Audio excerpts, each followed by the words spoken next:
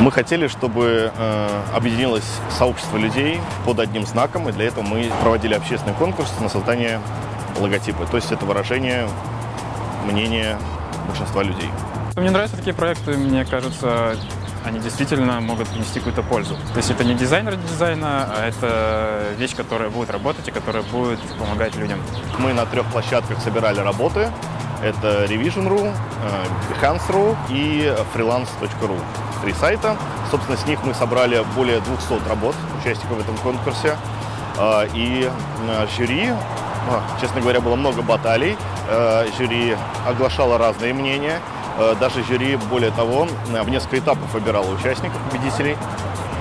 И в конце все сошлись на одном варианте, который стал победителем. В общем, этим знаком, э, во-первых, он очень прост в использовании, и каждый человек может его наносить и обводить эти глупости, присылать. И он может охватывать любые предметы, любые объекты. Можно очень просто изготовить трафареты, которыми люди сами будут показывать эти глупости.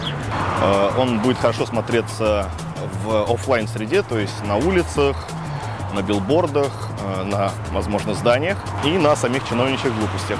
То есть у этого знака большое, большая площадь, ну, большое пространство для использования. Было довольно представительное жюри конкурса, состоящее из профессиональных дизайнеров, арт-директоров и так далее. В него входила Ири- Ирина Волошина, это арт-директор Афиша Рамблер, это Михаил Жашков, директор студии и основатель Prototype.ru, это Андрей Класс, э, основатель проекта Revision и главный, ну, назовем так, арт-директор портала НТВ.ру. Э, Это Валерий Феронов, э, у него своя студия Ферон.ру, ну и я, Артем Геллер. Все было по-честному, вот мой приз. Я очень доволен. И если будет еще что-то такое в будущем, я обязательно буду участвовать.